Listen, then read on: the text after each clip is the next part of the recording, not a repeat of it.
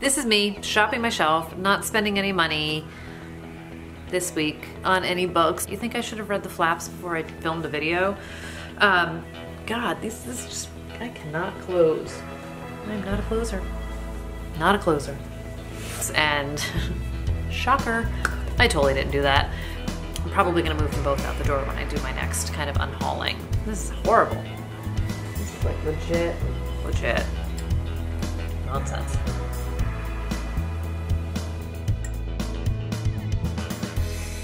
Hi everyone, it's Audrey and welcome back to Chapter and Converse. Today's video is going to be another round of my shopping my own bookshelf in my quest for my next great read. So a few videos ago, I had talked about how I'd been in like a real rut kind of across the board and just a little bit of a reading slump. And I think part of it was because I was in a life rut, so I was like not in the groove to read. And then there were a couple dead books along the way, but I'm really trying to resist temptation like the book outlet sale email I got today.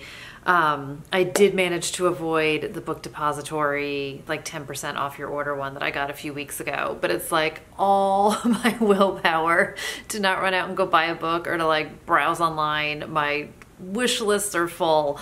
Um, but the chaos behind me doesn't even begin to sort of show the pile of books that I have here that I haven't read. And here I go again. I've done it before. I'm trying to shop my own bookshelf and either like, you know, read the books and hopefully they'll be great and I'll love them, or if they're not quite right for me, unhaul them and just get them out of here because we all know the books take up space. And I have committed to the fact that my solution is not to buy more bookshelves, but instead to deal with what I've got going on. So I picked a few books. Um, they range in topics and in how long I've had them. I don't know a lot about all of them, so let's just get into it and sort of fumble through it all together. The first book I pulled off my shelf is The Passenger by Lisa Lutz, and I picked this up in a old book outlet haul from whatever ago, and I years and years and years ago had read the book The Spellman Files that Lisa Lutz wrote, and I don't even know if it was like one of her first books.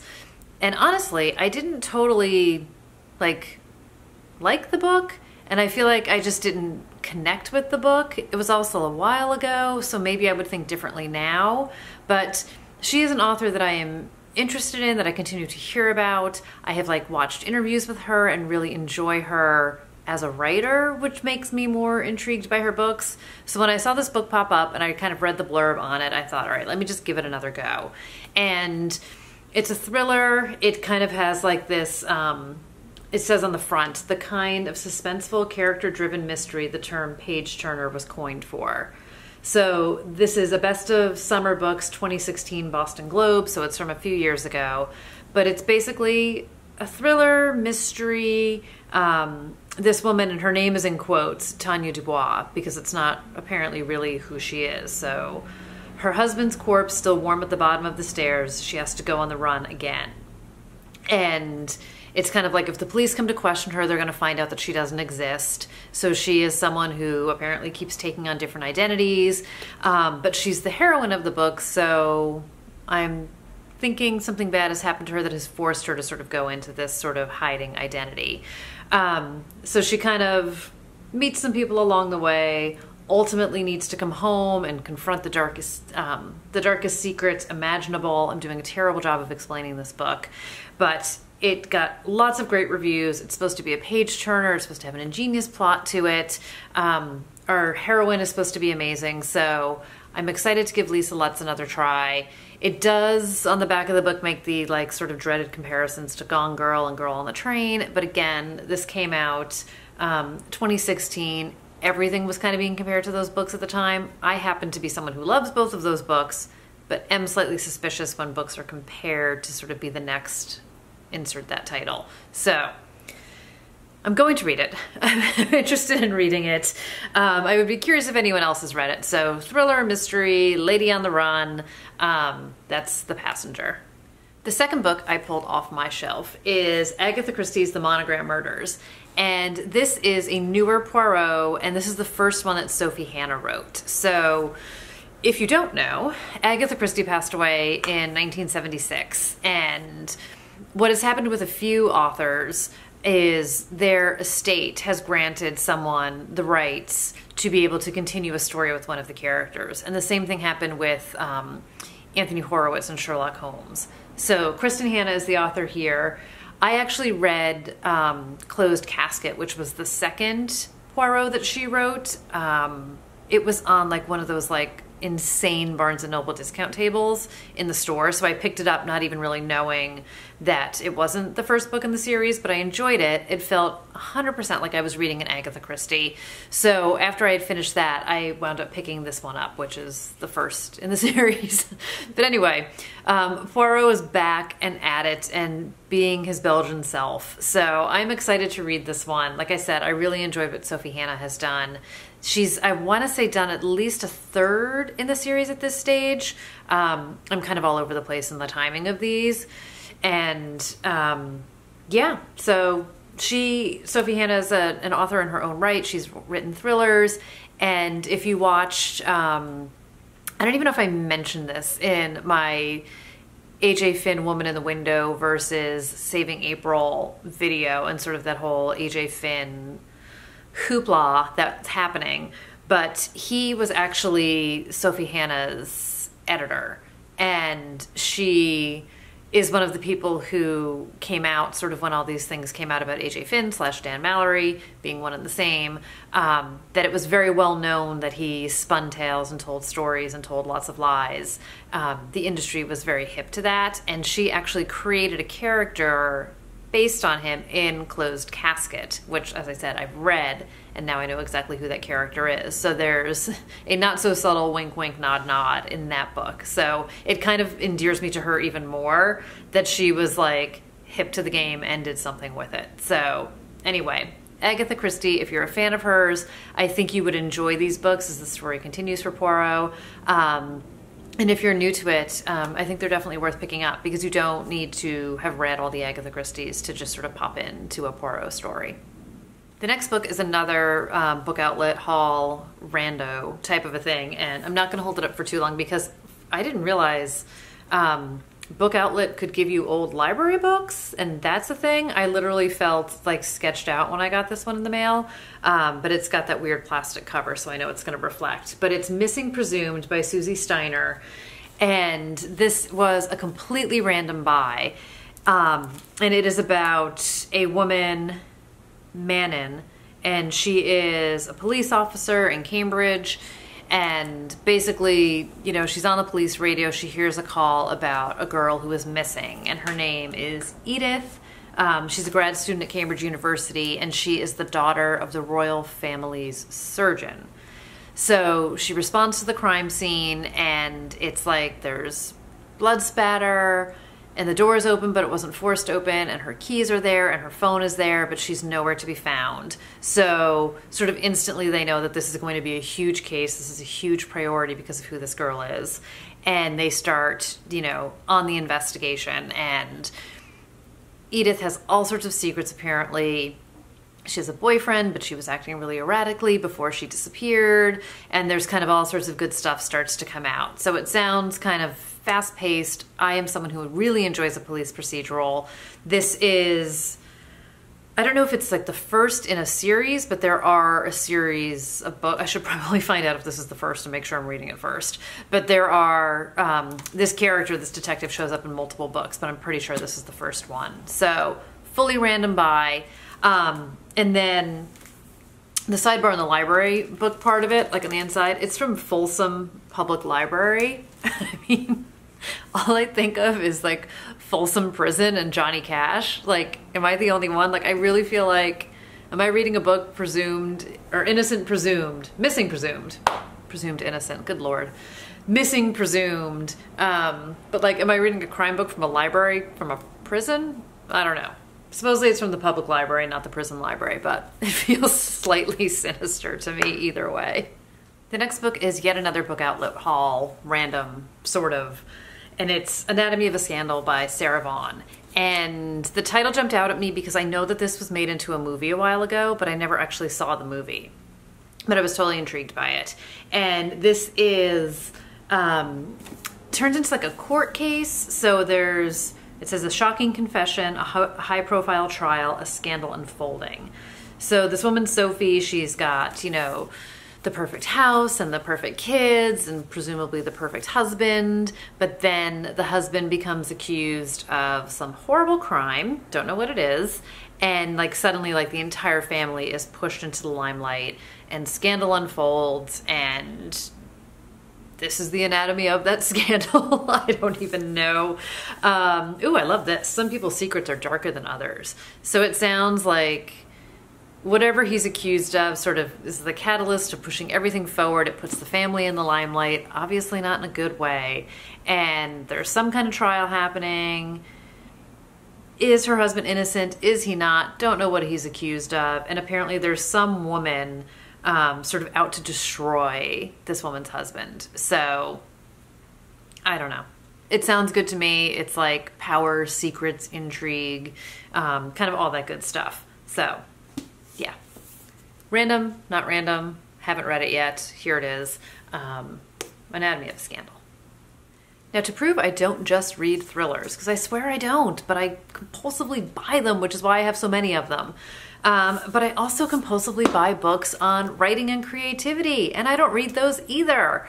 But this is Big Magic by Elizabeth Gilbert, and you don't have to be a writer for this one. This is basically sort of locking any level of creativity anyone who has any creative pursuits, whether it's like writing, photography, acting, YouTube video making, like whatever it is. But I had heard a lot of really great things about this book. I have not read anything else by Elizabeth Gilbert. I am not an Eat, Pray, Love bandwagon kind of a girl. Um, I know what it's about, but I haven't read it. I honestly have no interest in it. But this book in particular sounded very interesting to me. Um, so it's sort of like pushing beyond the fear, living a creative life.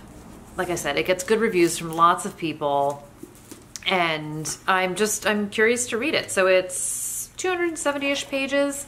Um, it's supposed to be very, I hate to say the word like empowering, but I think maybe like a good kick that you need. Um, I talked about just sort of my like across the board struggling. I've been struggling with writing, with being interested, with staying focused um, on writing, with really like digging in.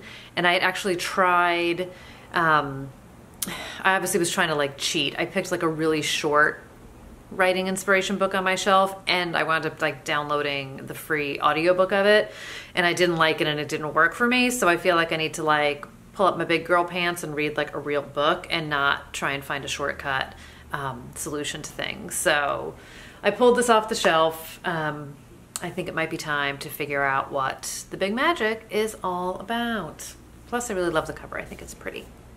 And the last book, I will be honest, I don't know when I got this, where I got this, what drew me to this in the first place. Like, I, I don't even know. It's The Party by Elizabeth Day. And this is kind of like domestic thrillery mystery, it seems. I just, I don't even know how this came into my life because I feel like I haven't heard about it since. So I don't even know. But we all black out buy books even when we're not drinking, right? Like, clearly other people please must tell you that you go into like a bookstore and you just sort of like buy a whole bunch of stuff like blinded by the light and don't remember why. Um, but this is a book about two men. Um, one of them is throwing himself a 40th birthday party. So I'm guessing they're both 40 or one's 39 and 40. Um, ben and Martin, and they were childhood friends. And sort of over the course of their life, Ben has become this like wildly successful, rich dude and Martin has been struggling. He's an art critic, but he's always been kind of on the poorer side of things. But throughout their entire lives, they've stayed very close friends, despite the fact that they don't have matching incomes. And I think that confuses some people as to why they're friends. But Ben throws himself like this fab 40th birthday party out in the countryside, and like all of like London's finest are there, and the men are there, and their wives are there and here we go, like it says, over the course of a single evening, two married couples will come to question everything they thought they knew about each other, culminating in an explosive act of violence. So, a few weeks after this party happens, Martin, who is the poorer friend, is in a police station being interviewed about the events of that night. And they uh, his wife is being questioned about her husband and about his past and like secrets start to come out and some intrigue i'm guessing there's some lies and some secrets and it all sort of collides in a way nobody could have anticipated so bad things go down at the party it seems but people have lots of nice things to say about it and i'm guessing i, I don't i don't know I have no idea why I bought this book. Not that it sounds bad or anything, but like I don't know anything about Elizabeth Day or anything like that. But it has just been collecting some dust um, on my bookshelf, so I thought it was time to give it a go. And I got another book called The Party by Robyn Harding, and I also haven't read that one. But that's like um, uh, two parents. I think it's like their daughter. They throw her like a sweet 16 party maybe or a birthday party at their house and i think one of her friends like dies at the party and it becomes obviously um, a big deal in the hood and with the parents and with everybody else around so um, sort of both in the vein of like one party one night changing everything and not that i'm doing it for the pop sugar reading challenge but one of the challenges is to read two books with the exact same name. So maybe this is the year I read both party books, or at least give them a try. And if they're not right for me, move the party out the door. So that does it for this round of shelf shopping. Um, I would love to know if you guys have read any of these books and if there's like any you would recommend that I like push to the front of the list that are absolutely worth reading and like need to be read now, or if there's any that you're kind of like, meh, they're sort of duds and either like don't waste your time or like don't rush to get to that one. So don't be shy. Tell me what you think. I don't care if it's not a good review. That's totally okay with me. But I do like the idea of trying to like push some of these books to the front. Last time I did this, I read two of the books I don't even know if I read a third. I definitely read two of them. Um, and they, they were both kind of fine. And I will probably just unhaul them next time I go through my shelf and unhaul some books. And I would rather, like I say, I would rather make room on the shelf for something new than be holding on to something that I don't even know what it's about. Never mind, something I wind up reading and not totally loving. So that's where I'm at. Let me know what you guys are reading as we speak slash watch this video. Um, I'm always looking for something new. it's just like terrible. I just said I'm like trying not to shop, but I can shop my library because that's free. Um, but anyway, this is where I'm at. This is what I'm doing for now. These are the books I'm going to try and give a go to. I'm really hoping to find something that's going to creatively spark me. So maybe I'll start flipping through Big Magic, but that's it for now. I will see you guys in the next one. This is a horribly garbled exit to a video. So if you're a first timer here, please don't judge me by this mess that's happening right now. But I'm a little bit loopy. Um, it's towards the end of the day and I'm trying to rush through before I lose all of the light from outside. So more than you ever needed to know, more than you ever cared about. But thank you guys for sitting here today with me, watching with me, hanging out with me, all that good stuff. And I will see you next time when I hopefully am a little less crazy cakes than I am today. So have a good rest of the day, everybody, and I will see you soon. Bye.